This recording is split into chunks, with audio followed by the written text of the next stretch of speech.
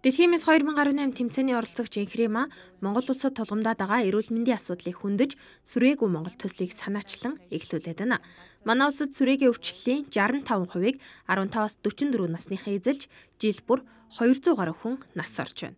За иймээс инхрэма Монгол мисүүдтэйгээ хамтран сүрээгүй Монголын төлөө видео сурчлагаагаар дамжуулан сүрээ өвчний үед илрэх шинж тэмдэг, завуур эмчилгээг бүрэн хийлгэж, за эдгэрхийн ач холбогдол болон сүрээгээр өвчлсөн хэнийгч ялгуурлан гадуурхгүй байхыг залуучуудаа уриалан тэдний мэдлэгийг сайжруулж хандлагыг өөрчлөхөд төлхөө анхаарч байна.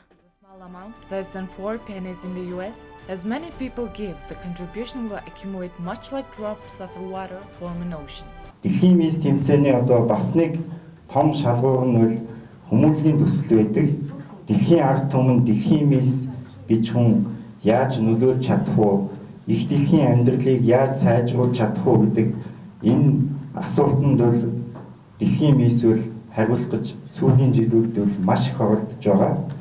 За энэ жилийн манай улсын үндэсний ялагч инхри маань ч гэсэн энэ асуудалд анхаарлаа тавьж олон нийт тэр олон мэдтгүү цэглэж зайлс хийж байдаг энэ сүргийн өвчнөд яаж тэмцэх үү гэдэг энэ асуудлыг бас өөрийнхөө хүмүүлийн төвсөлд оруулж дэвшүүлж байгаамаа. Сүрээгийн өвчлийн энэ асуудлаар сүрээгүй Монгол энэ төслийг санаачлаад эхлүүлээд байгаа. За энэ хүрээндээ бол гурван төрлийн одоо үндсэн үйл ажиллагаа хийсэн.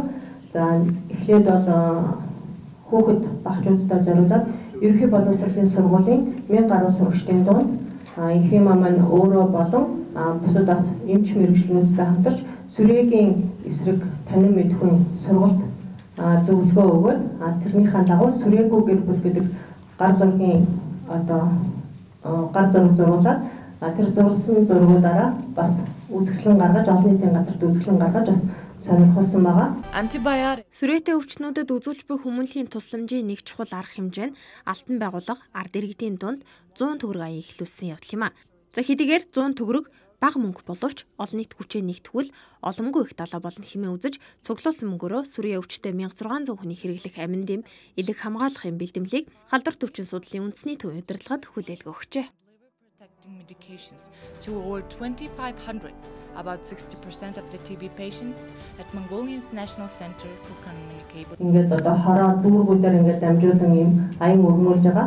За та бүхэнд бас сонсогдож магадгүй 100 төгрөг гэдэг бага юм шиг боловч хэрвээ бид нар маш олон хүнийг цуглуулж чадах юм бол Монголын 1 сая хүн 3 сая 3 сая хүн оролцож чадах юм бол энэ нь болохоор 300 сая төгрөг 100 сая 100 сая төгрөг болж байгаа.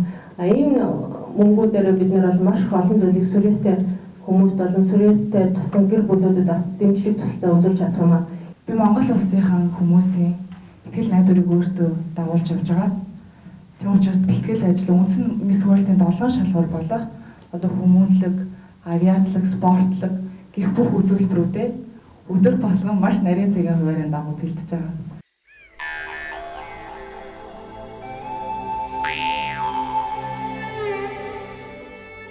Дэлхийн мэс 2018 тэмцээн бүгд найрамдагтад ард улсын Сани хотод 12 дугаар сарын 8-ны өдөр зохион байгуулагдана.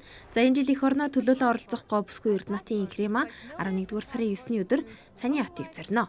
За дэлхийн мэс тэмцээн нь 1951 оноос хойш өнөөдрийг хүртэл жил бүр уламжлал болгон зохион байгуулагдаж байгаа. Говьсгүйчүүдийн олимпик дэх олон улсын тэмцээнд 120 гаруй орны мисүүд оролцдог бөгөөд дэлхийд их орноос сурчлах болон тэр дэлхийд хүмүүнлэгийн үйл ажиллагаагаар оролцох боломжийг олгодог юм а.